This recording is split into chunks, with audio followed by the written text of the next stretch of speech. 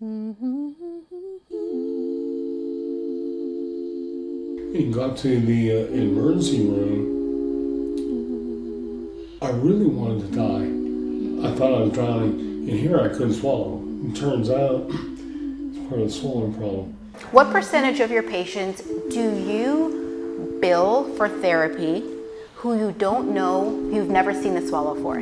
I get so bogged down by the minutia of my day, my billing time, my hour by hour by hour, mm-hmm. that I don't think I step back and say, oh, I don't know the percentage of this and I should be better.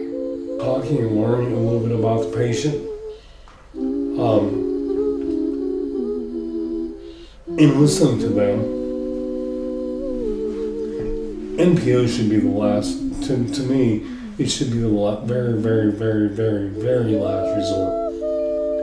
Because your, your, your quality of your life is flushed down the toilet then. I think we don't ask because our students are not taught to ask. If you pull out any clinical bedside swallow eval, asking the patient is not on top. You have a patient every day and you have been a patient. Why aren't you making the connection between what you want as a human and what you would want for other people? I think that's why, and I've said this all the time when I taught classes to clinicians, I said, you have the hardest job.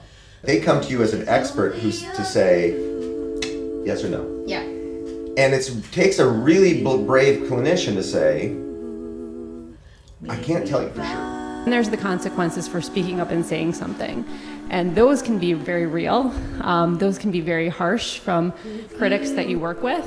It's almost like people don't understand that you are a human being who's making a decision to side with whatever institution that is holding you captive because they're part of your identity or they give you a salary. Especially in the healthcare world, right? I think I, I don't know the ethical commitment is lost somewhere because and then people instead of like trying to fix it start blaming the institution that yes. they're a part of yes the right side paralysis from stroke is not life threatening where the um, the swallowing which is kind of the invisible one is if you don't know the right doctors you you can not I'm not saying mistreated, but you can get you suboptimal. Get suboptimal. You can get mistreated. There's no question about it.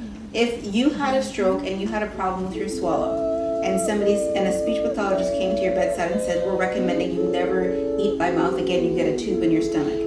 Would you just eat anyway? My answer would be to this. Let me put it in your stomach first, see it works.